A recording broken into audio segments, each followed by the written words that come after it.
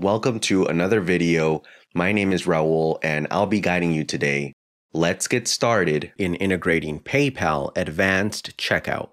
This video is a continuation or part two of the first video called How to Integrate PayPal Standard Checkout. A production PayPal account doesn't have this advanced credit and debit card feature enabled by default. It's an onboarding process that one must apply for and perhaps wait a few days for vetting to be approved for, but you can enable this on your Sandbox REST app that you created. To start this, once again, I'm going to go over the front end markup code, the front end JavaScript code, and the back end code, which in my case happens to be JavaScript, but I'll also explain it where you could understand for whichever programming language that you use for the backend. Starting with the HTML code, let's scroll down here. We will find our payment options div that we used in our last video. And you can see it was empty before and now it has a bunch of stuff. I've added a credit or debit card form here. The classes are simply styling, which you can add whatever you want in yours. The important part for how our SDK renders these card forms is that you must provide it placeholder divs that will house the credit credit card fields. Each div must have an identifier that you can provide our SDK. So here's mine, ID equals you can stylize these divs however you want since they will eventually convert to an input field, as well as there are some styling options for the fields themselves in the JavaScript portion that I will show you in the next file. Here are the rest of the card fields represented as divs. Here's the expiration date div, the CVV div. I've also added a real input element, not a div placeholder, but a real input that asks for the user's email, and I've made it required. I'll show later on what we could do with this. And lastly, we have a submit input element here to submit this form that I've made. It doesn't have to be a real form if you don't want. It doesn't have to be strictly a submit button. It could be a regular button or an image, or you can implement this however you like since the JavaScript will essentially take over and make the API calls and trigger the functions that you tell it to. How about we see how this actually looks like in our working example of that NFT website that we started on the first video.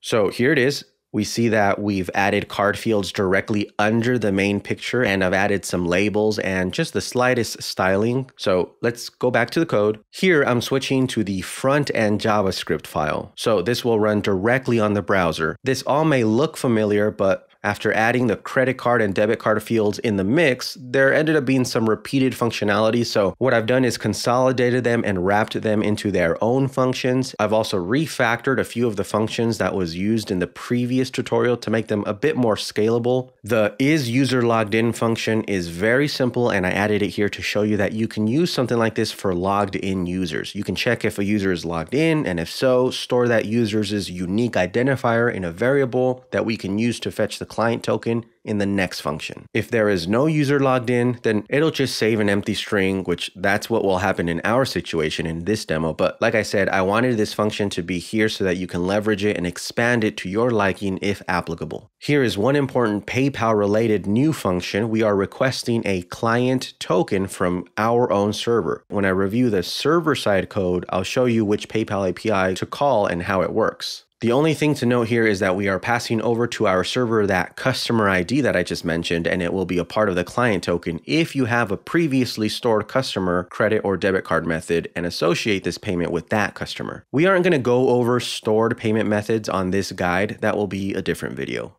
the display error alert. I had this code going on a few times after I added the credit card field. So once again, I just consolidated all instances. And the same thing for this display success message function. It's long enough where I could just call it from a function and the only differentiator this time around is that I've wrapped the first name shown here and also the last name to display the names if they exist in the response from PayPal, or just to not display anything if they don't exist in the response. For the card payments, you'll notice we aren't asking them for their name, just for the email as the customer identifier. So you won't get that in the card response. And directly under the function where I tear down the PayPal buttons, I will make the credit card fields hide as well, shown right here. Now let's move on to these functions being used in the code we start here with the is user logged in and all that occurs, remember, it's just a variable gets saved with either a customer ID or a blank string. That sets up the next get client token function to use that customer ID in the request, and after the dot then, we get the resulting client ID to be able to use in the PayPal SDK script tag. Here we append a script tag to the head as we did in the last video, and we are passing the usual SRC, the source, which is the URL that we passed in our first video, but this time we're appending a query called components and sending over equals buttons, comma, hosted dash fields. This tells the SDK to load the components not only for the PayPal buttons, but also the library that powers our hosted credit and debit card fields. As well as we must add another attribute to the script tag called data-client-token token. That will hold the client token that we requested from our server. That will be used for the hosted fields.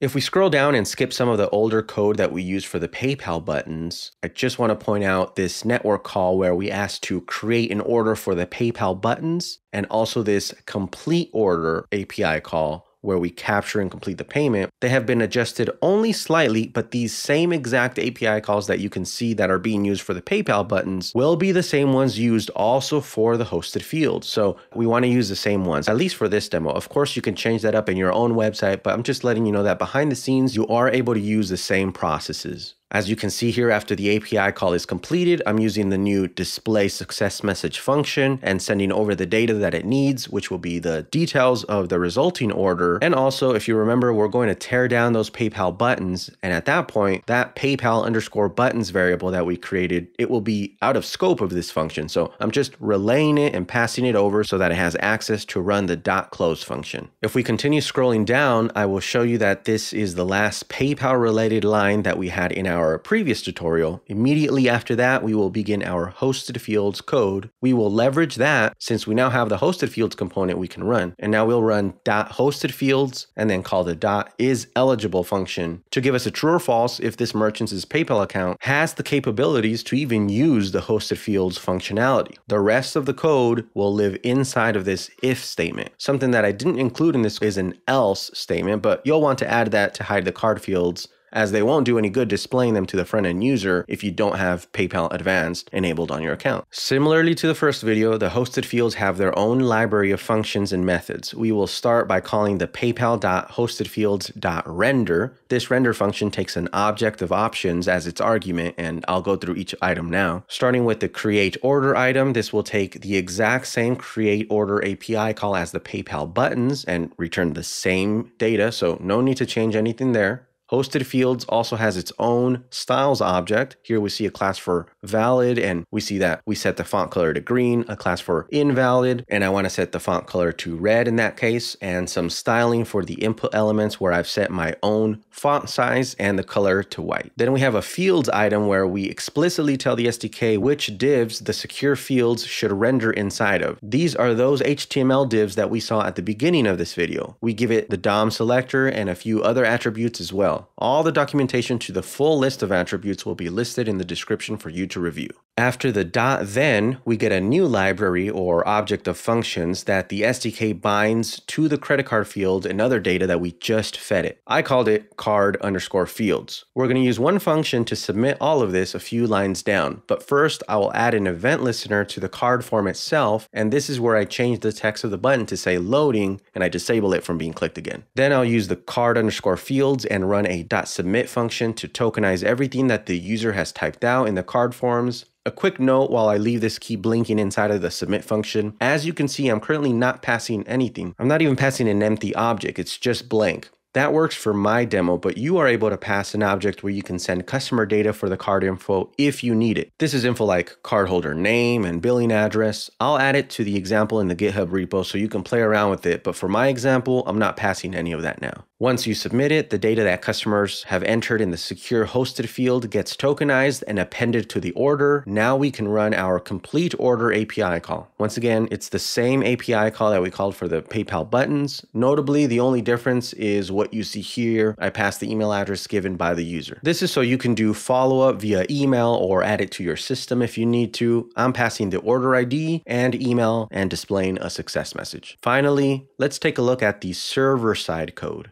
As outlined in my first video tutorial, I'm currently using Node.js as my server-side environment. For starters in this code, I mentioned earlier that you could collect the email address of a cardholder to send them an email receipt if you wanted to develop that yourself outside of PayPal's APIs. So I'll be doing that today just as an example, and I'll still be using REST APIs. I've used SendGrid to send these emails in this code. For security reasons, You'll get certificate errors if you try sending out SendGrid API calls and working in localhost. So I'm adding this one line that is node specific to override any self-signed cert errors. You may or may not have to do that in your environment when using SendGrid. If you don't wish to use SendGrid to send emails, just disregard this and remove this line altogether. All the other variables below that we already covered in the first video, so I'll continue below and we see this create order route. This was created in the first video, so that will stay intact. Let's scroll down and now we have this complete order endpoint. This was also created in the first video and as you can see, the only change that I made was that after the API call gives me a successful response, I'm grabbing the response that is represented here as the variable called JSON and if the ID is included in the object, then for sure a page PayPal transaction has been created and the payment has been captured. In that case, I will want to send an email. Once again, if you're skipping this whole email sending portion, then remove the lines that you see in this video of 131 through 133, just as you see them in this video here. In the GitHub files, the lines may be different since I add more comments and stuff in the final file. So use this video as a reference of what to remove if you won't be doing this email portion. Now let's take a look at a brand new PayPal API call that is important to our hosted fields. We want to generate a client token that will be a part of the front end JavaScript SDK tag as an attribute to uniquely identify the purchaser. As you can see here, we will pass the customer ID in the body payload only if it's applicable and otherwise if the string is not populated, it'll just be null and we'll pass it in the body request anyways, but it won't interfere with the API call itself. Then it's just the standard REST API call and when we get to the JSON response, we'll isolate just the client token and send it as a string to the browser shown here.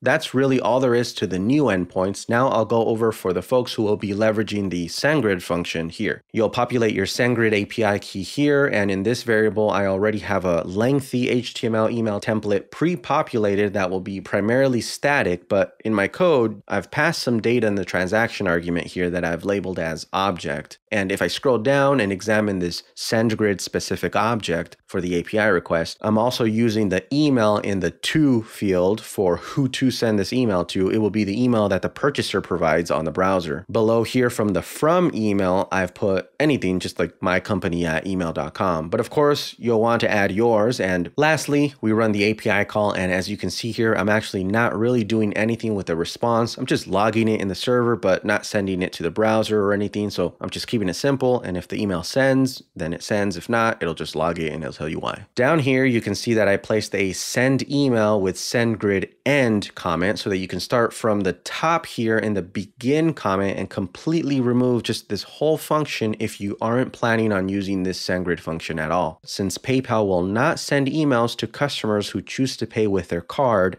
as opposed to paying with PayPal, where in that scenario, an email from PayPal would be expected from the purchaser. All right, that was a lot of explanation to go over. So let's go ahead and do the fun part and just run all of this. I'm going to boot up my server once more by doing node index and go to my browser. I'll refresh this localhost and here we are.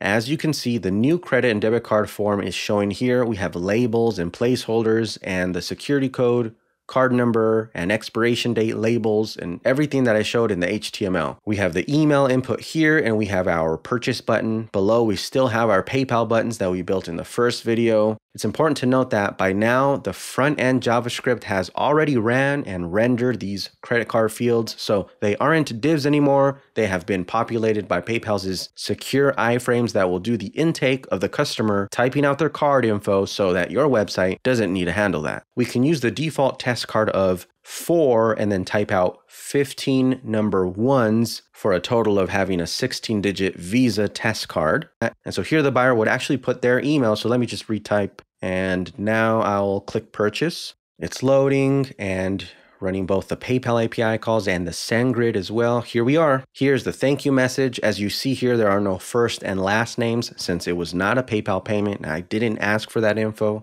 Also, down at the bottom, both the PayPal buttons and the card fields are all gone, not displaying, and we have a successful card payment. That's the advanced checkout implementation in action. Now, for those who used the SendGrid option, let me switch over to my Gmail and show you what you will receive in this demo code. Here we are, and we see the subject line. I'll open it and perfect. This is a simple template and thank you message that includes a unique PayPal transaction ID here. That's great. I'll scroll down, some other info, your own buttons, and here is that image that I added, and it all looks good. Well, that does it for this video. Thanks for hanging in there until the end, and you'll find all of the code with some additional comments as well as the GitHub link in the description. We have now successfully integrated PayPal Advanced Checkout.